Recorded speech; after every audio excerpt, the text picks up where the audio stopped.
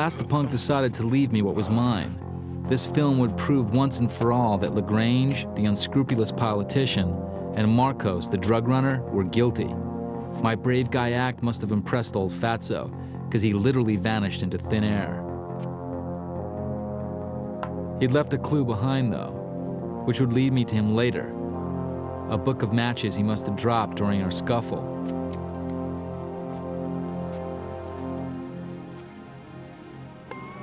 There were some odds and ends in Tony Marcos's pockets a key, an electronic diary, and other stuff that would help me with my investigation.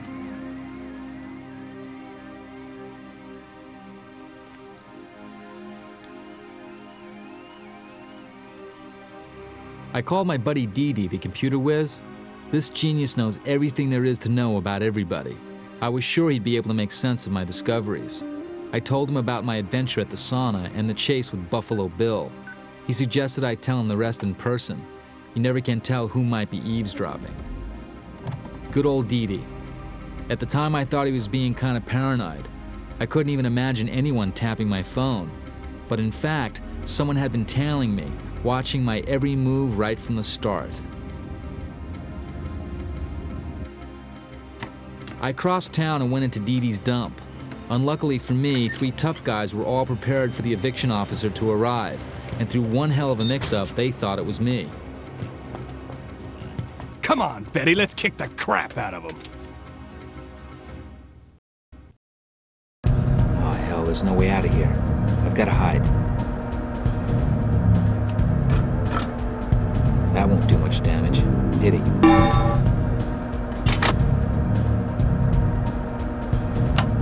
I switch it on, they'll think I'm inside. Show your face, jerk. I'm gonna skin you alive.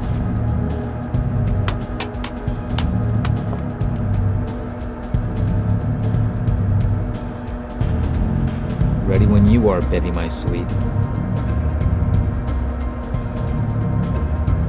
Come on, sucker. Come out and play.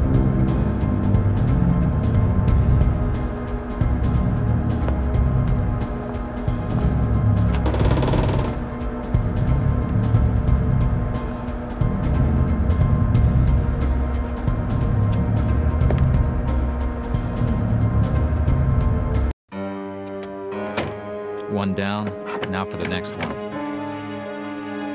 What have you done to Betty? I'm gonna kill you when I get my hands on you. Damn, a dead end. It's too late to turn back. I wonder if this switch still works.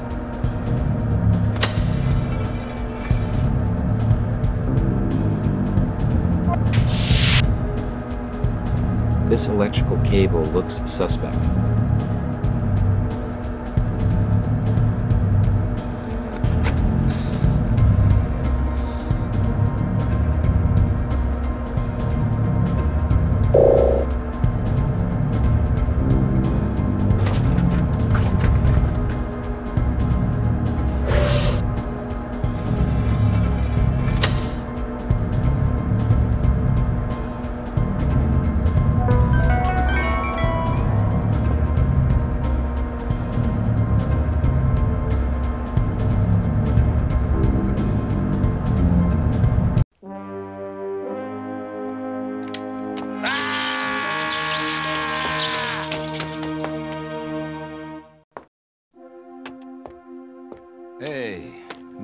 Welcomed me in his normal cheery way and confirmed what I thought.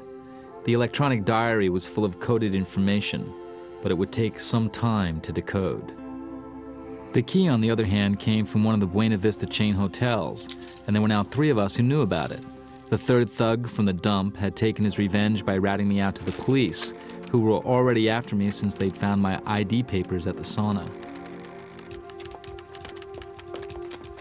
Inspector Van Dale sent his men racing after me as if his life depended on it, and soon all the sirens in town were coming down the street right at me. Even the stranger who'd been shadowing me right from the start suddenly dropped off the face of the planet. I had to find a way out of the neighborhood, which now, thanks to the cops, was completely surrounded. Van Dale must have received the strictest instructions to find the killer fast, and someone somewhere had clearly decided to make me the fall guy. yeah, but they obviously hadn't reckoned on dealing with Max Gardner, Houdini II. I shook that bunch of Boy Scouts off my trail as easy as if I were playing hide and seek at summer camp.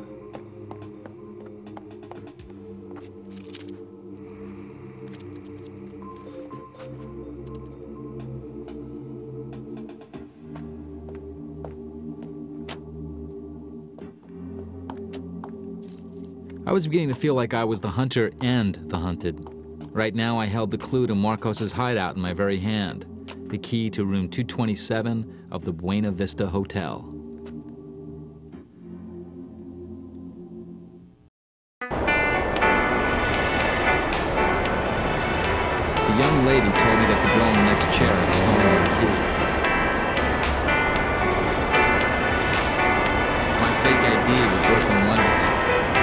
Little thief sheepishly agreed to give me back my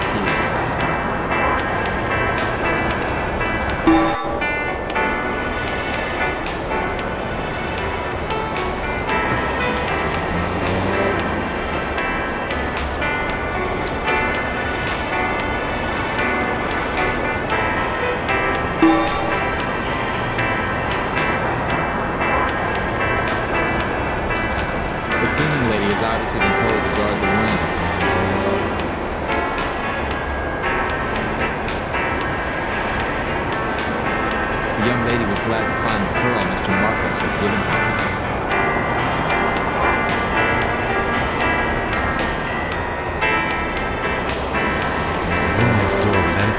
It had simply been reserved by phone.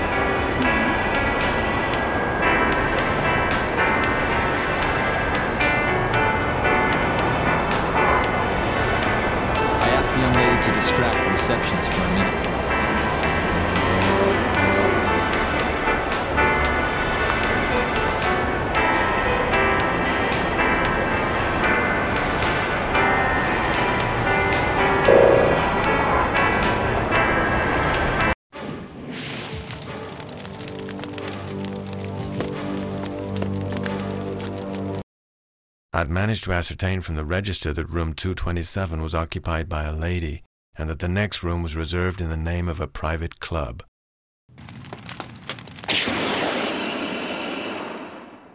So it's a woman in room 227. Probably Marcos's lover. 225 is reserved under the name of Club Zanzibar. Zanzibar. I know that name from Marcos's odds and ends.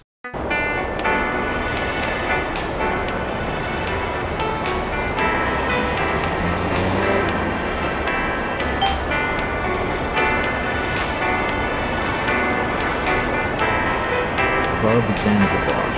At last, I've got the whole name and the right phone number.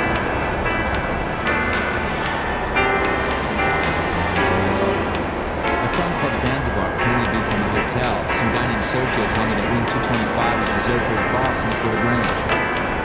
LaGrange. The politician, of course. The boss at the Zanzibar. Thanks for the info. Lucky I didn't come across the closed mouth pretended to be Mr. LaGrange and canceled his reservation for room 225.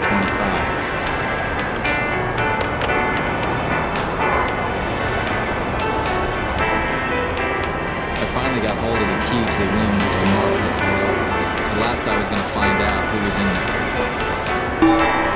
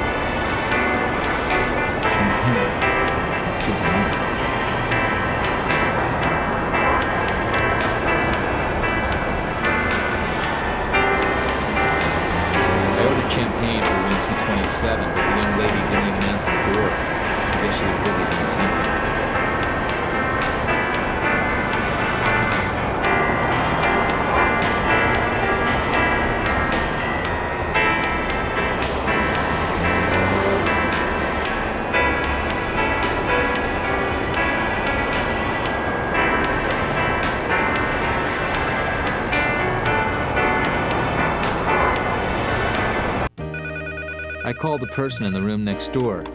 It seemed I had gotten her out of the tub.